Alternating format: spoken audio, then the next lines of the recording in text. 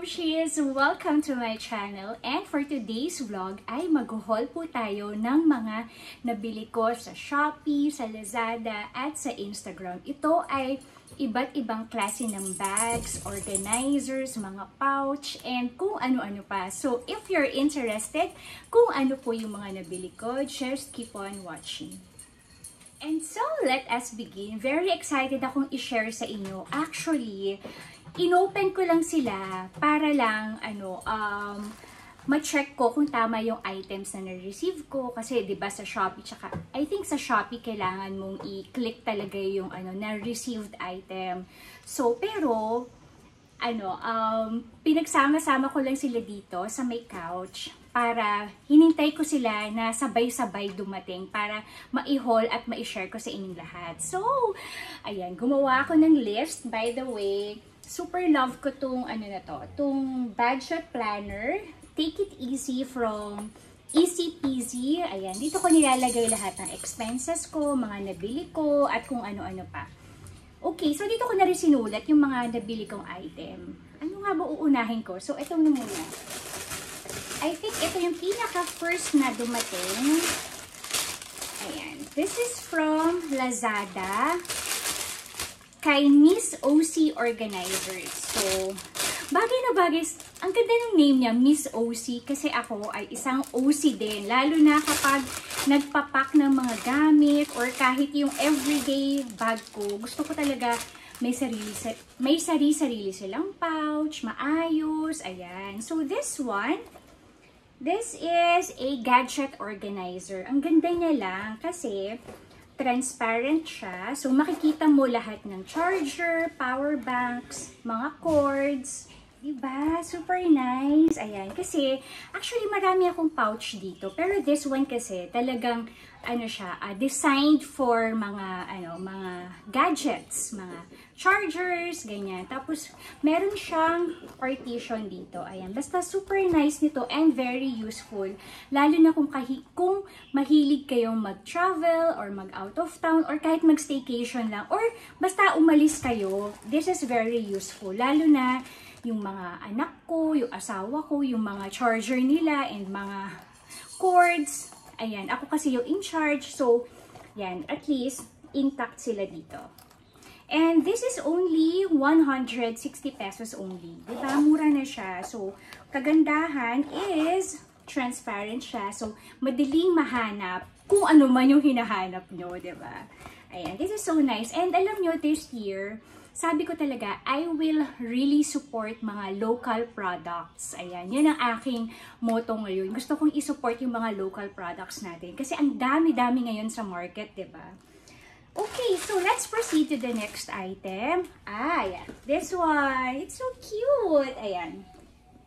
So, alam nyo na, dahil may, marami tayo upcoming na travel, so, inaayos ko yung mga luggage namin. So, this one, ayan. This is from Sunny's Face. Ito yung kanilang weekend jelly bag. Ayan. Actually, this one, ay ah, in coconut. Coconut ito. Pero, meron silang bagong release, yung gulaman, yung color black version nito. Sayang nga, isa na yun nilang yung binili ko. Pero it's okay. Ang ganda pa rin ito. Kasi alam niyo naman si Sunny's, ganito talaga yung color nila, ba diba? Tapos, this one, kaya ko to binili kasi dito ko plan ilagay lahat ng ano, ng mga ano namin, toiletries, tapos pati yung mga makeup ko, skincare, ayan. Basta dito ko sila plan ilagay lahat. Para alam mo yung isang bitbitan na lang sila. And this is waterproof. So maganda, hindi siya dumihin. Alam nyo yon Ayan. So cute lang. Actually, ang ganda niya. Hindi lang siya, para nga siyang hindi pang toiletry eh, ba? Pwede siyang Pwede nga siyang lunchbox eh, di ba? Basta super cute and ang ganda ng quality. Tapos, meron lang dito yung logo ng Sunny's Face. Ayan, so nice. Ito, nabili ko itong mga to. Actually, itong mga to, nabili ko ng 4-4 na sale. So, may mga discount yan. Ako kasi, kapag meron akong gusto, ina-add to cart ko na siya. Tapos, ano na lang, uh, inaantay ko na lang yung mga sale kasi sayang din yung mga discount, 'di ba, kapag sale. So this one, ang original price nito sa ano, sa kanilang page and sa mga boutique nila is 545 ata. Pero nakuha ko lang to for only 490 pesos and 50 cents. Ayan, ang ganda niya lang, 'di ba? Very useful para sa ating mga upcoming travels. And then, next one is ito. Saan ba yun? Ayan, ito. Bale, galing naman to sa LBC. This one, ang ganda rin ito. Napayad ko kasi yung vlog nila ni Camille ko tsaka ni Lauren Uy. Ay, ta tama ba? Hindi ako sure. Basta yun. Meron na pala siyang bag, si Camille ko. Tapos, ah, uh, yan. Ito, ito yung bag niya. Yan, cute. Si, hindi ko alam yung tamang pag-pronounce. Kuku, Koku. Ayan. So, sa Instagram ito, at nagulat ako, ang mura niya lang. 495 for this one. Ayan. It's a tote bag na PVC. Alam nyo, mahilig ako sa PVC kasi gusto ko, madali ko lang makita yung mga gamit ko. Tapos, madali lang din isanitize kasi i-wipes nyo lang or sprayan nyo lang ng alcohol, ba diba? Good to go na siya. Tapos, mas mura pa siya. And, alam niyo kasi yung mga leather bags ngayon, dahil na nag-pandemic, hindi natin nagamit, nagkanda, sira-sira na siya, ba diba? Ayan. Tapos, so this one, ayan. Ang ganda niya lang, kasi, ang kagandahan din pala nito, hindi lang siya plain, kasi meron siyang design. Ayan, kung makikita niyo po, para naman hindi kitang-kita yung bags niyo. Meron pa tong isang color, yung clear niya clear na ganito din. The same design. Ang tawag pala dito ay Clarity 2.0. Siguro yung first na nilabas nila, baka yung walang design. I'm not really sure. And it comes with a ito, pouch na ganito. So, pwede nyo ilagay yung cellphone nyo, pwede rin yung cash, pwede rin mga um, kikay kit, like your powder, yan, lipstick. Yan, so nice. And ito pa ang kagandahan, with zipper siya. So, safe na safe yung inyong gamit, di ba? Hindi ko lang nalagyan ng ano eh. Hindi ko lang nalagyan ng laman sa loob para mas maano yun, mas ma-appreciate nyo. Siguro later, at the end of the video, try ko kaya na ano, no, yung mag maglagay ako ng clip about, ano, yung parang sukat ko siya, para lang magkaroon kayo ng idea. Sige, tatry natin yan, ha? Alam nyo naman, gusto natin matutong mag, hindi naman matuto, gumaling or gumanda naman yung mga vlogs natin, ba diba? Ayun, so 495 for that one, sa Instagram po yan. And Promise talaga mga moms, ilalagay ko na po sa description box yung mga links ng mga items na pinagbibili ko. Ayan. Para ma-share ko sa inyo if ever na gusto nyo rin mag-add to cart. Okay, so another one. Yan, this one. Excuse me, naubo ko. So this one is from Travel Essential Travel Essentials MNL from Instagram din. Ayan. Sila, mga ano din sila, ang mga PVC bag, mga personalized, ayan. This one is a, ito talagang hindi ko binuksan, para sabay-sabay natin bubuksan. This is a 4-piece na luggage organizer na personalized. Ayan, kung makikita nyo, merong laser na, and color black lang yung binili ko para hindi dumihin, ba diba? Tapos, pwede, unisex, pwede magamit ng husband ko, ba? Pwede ko rin magamit. Uy, malaki pala siya. In fairness, ang ganda. Ayan. Dahil nga marami tayong upcoming travel, alam niyo naman, siguro pag umalis kami, I will try to vlog din yung what's in my luggage bag or what's in our luggage pala. Kasi, syempre pag aalis kami, apat kami palagi, ba?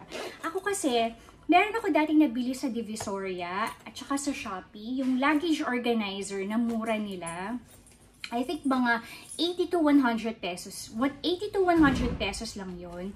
Kaso madali siyang masira. Pero ang tagal ko din siya nagamit. Sabi ko, why not invest dun sa mas matibay, ba? So ito na nga yun. So ito yung ito yung pinakamalaki niya. So pwedeng-pwedeng ito for clothes. Ayan. Kasi ako, ang ginagawa ko, per, halimbawa, 3 days kami aalis.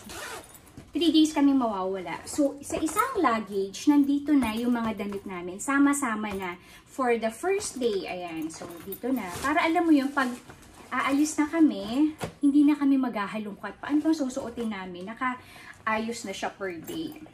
And this is the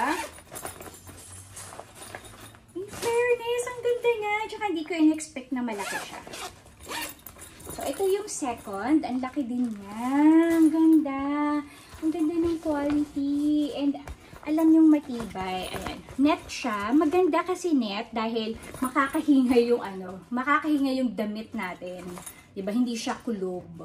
Ayan. Ganda. Tsaka sabi ko gusto ko mag-invest sa mas maganda tsaka quality kasi alam ko matagal ko naman siyang magagamit. And madalas kami mag-travel. So, ang ganda niya lang. High quality siya. Tapos, meron lang dito yung tag nila na Travel Essentials ML. Okay? And this is the third one.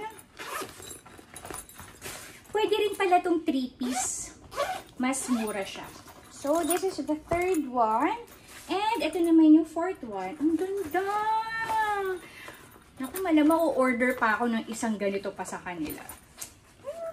I love it. Ang ganda niya. Super nice. So, third and the fourth one. Ayan. So, this is 4-piece na luggage organizer. Pwede rin siyang 3-piece. Kapag 3-piece lang, I think 1,000 pesos lang. Pero ito, dahil nga 4-piece, it's 1,200 pesos. Ayan. Travel Essentials MNL sa Instagram. Tsaka free na po yung ano nila, free na yung luggage. Ay, luggage, yung name. Tapos kapag mga ganito, pre-order siya. So, I think, ang binigay niya na turnaround time is 10 days. Pero, less than naman dun. Tapos, pinalala move ko lang. Ayun, so super happy. Parang ang sarap mag-pack. And then, ano pa ba yung mga nabili ko? Nandito pala yung aking list.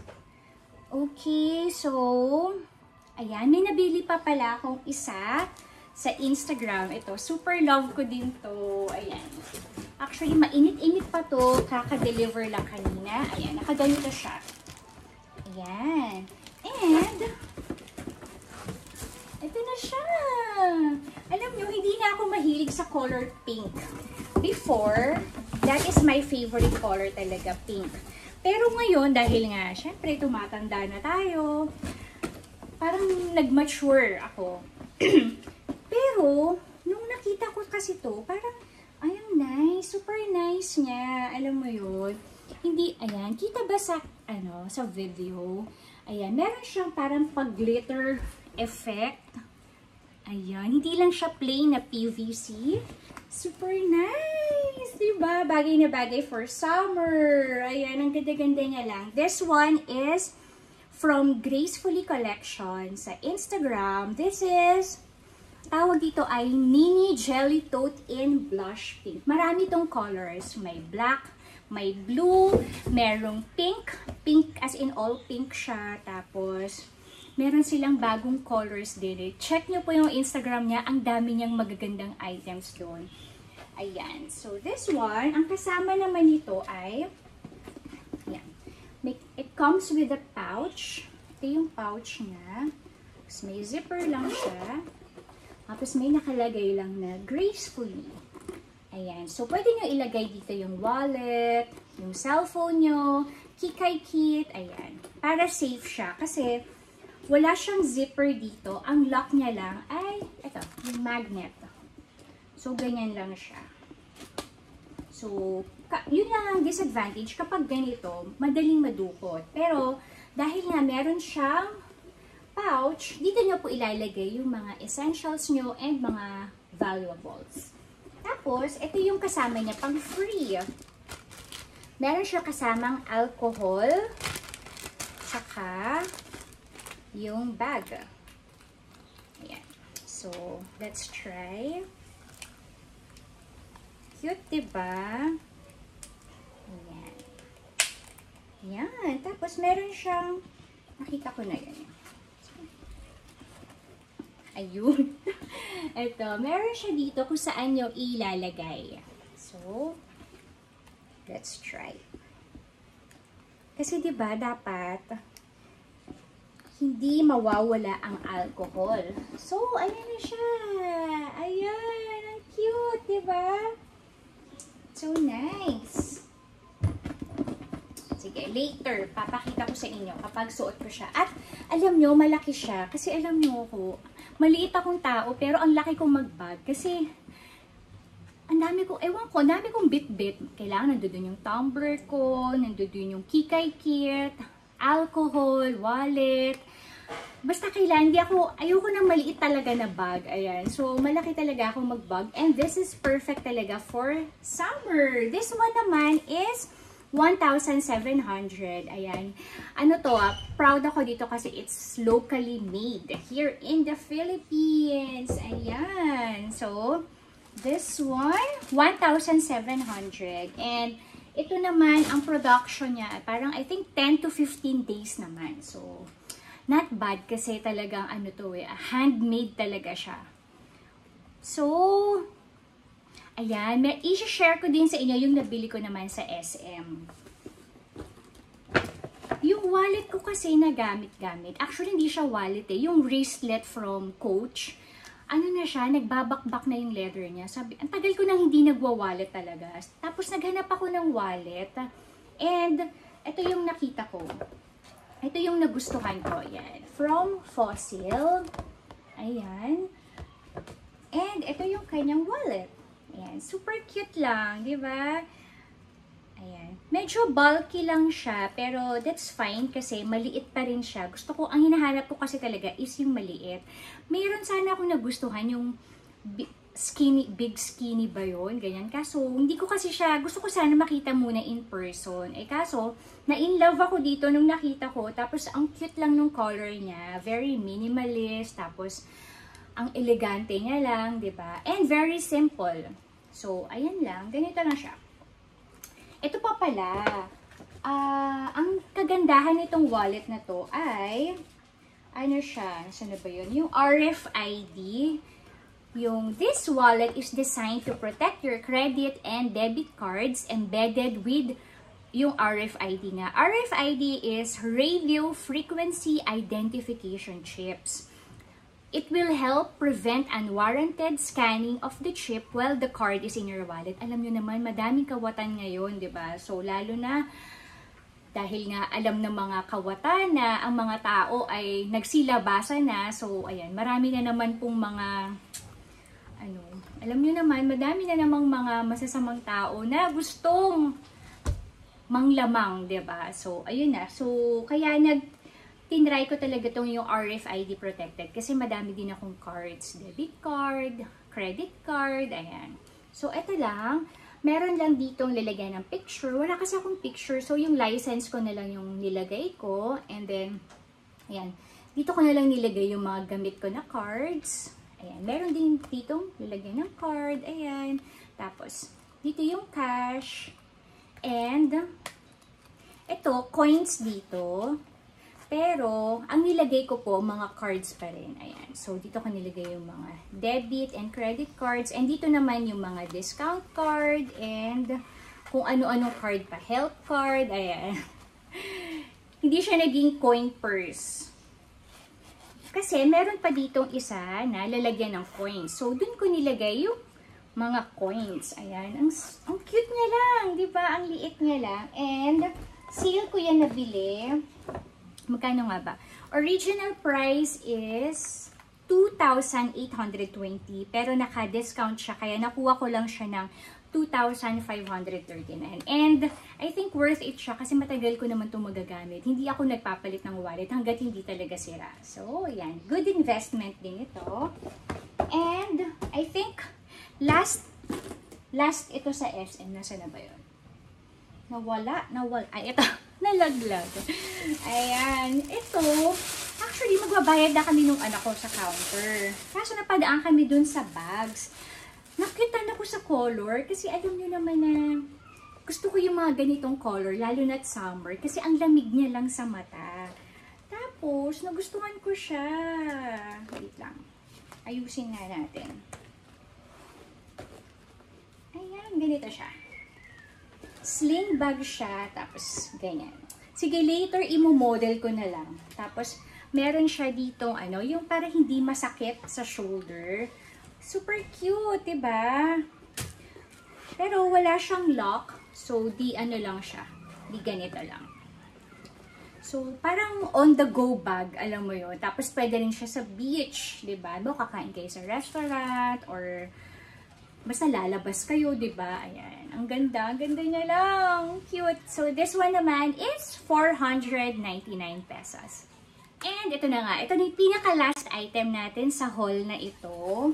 So, ito naman, gamit na gamit ko to kasi nga, ano, uh, ito yung gamit-gamit ko kapag nag-grocery kami. Kasi, napansin ko, yung mga binibili kong ano, um, eco bag from SM, ang dali niyang masira, lalo na kapag mabigat, tsaka lagi niyong ginagamit. So, nag-isip ako ng ibang alternative. And, ito nga yung nahanap ko.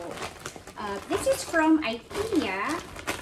Pero hindi ko to sa IKEA mismo binili kasi hindi pa ako nakapunta doon.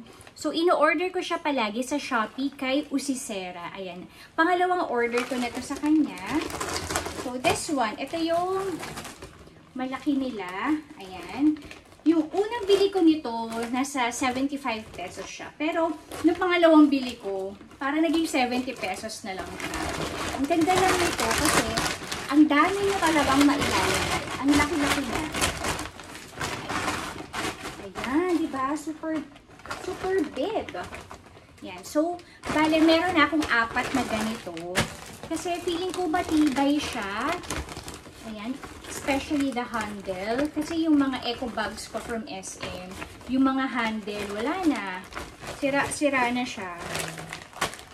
So, meron akong apat na ganitong size, yung large.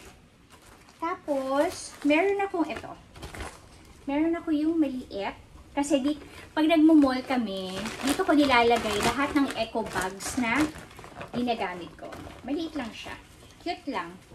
I think this one is, ano, 55 pesos for this. And then, binili ko rin yung next size niya. I think this one. Ah, malaki pa rin siya. Ito naman yung next size.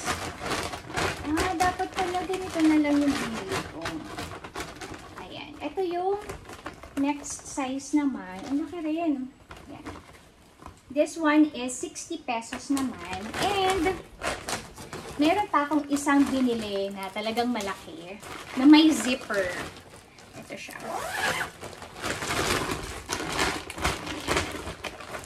Ito siya kalaki. Ayan. Parang pa-square siya. Wala kasing laman eh. Ayan, ganito siya. So, malaki siya. Ito kasi pwede kong gamitin kapag umaalis kami.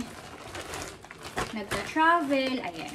Yung mga kung ano-anong gamit. Like mga floater, goggles. Alam mo yung mga wet clothes. Pwede, pwede ko siyang ilagay dito. Ito medyo pricey to. Kasi nga may zipper and malaki. 225 for this naman. Ayan very useful to sa mga momshi na laging nag-grocery. Alam nyo naman na kailangan, ayoko kasing pumila pa para i-pack or i-box yung mga grocery ko. Gusto ko, after the cashier, diretso na dun sa mga eco bags ko. Ayan.